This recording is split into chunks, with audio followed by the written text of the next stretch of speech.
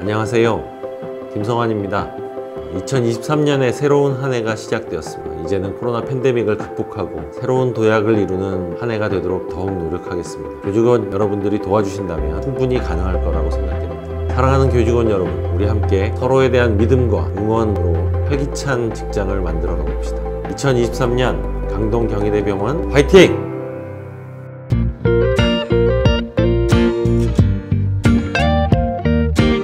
안녕하십니까. 99년생 토끼띠 원무팀 조정윤입니다. 저 자신을 더 사랑하는 한 해가 되기를 희망합니다. 여러분들도 자기 자신을 더 사랑하는 한 해가 되세요. 감사합니다. 안녕하세요. 87년생 토끼띠 인사교육팀 김민석입니다. 아, 네, 안녕하십니까. 동갑 심의조정팀 신지민입니다. 네, 2023년 주변 동료분들에게 감사하는 한 해가 되었으면 좋겠습니다. 병원도 잘 되고 교직원 개개인분들 모두 잘 됐으면 좋겠습니다. 감사합니다. 화이팅! 1975년생 토끼띠 치과병원 소속 강인구입니다.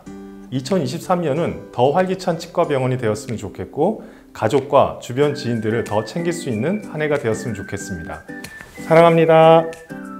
안녕하십니까. 63년 토끼띠 택시병동 파트장 박성희입니다. 2023년 한 해 기본에 충실한 한 해 그리고 모든 샘들이 건강하고 행복한 한 해가 되기를 바랍니다. 화이팅입니다.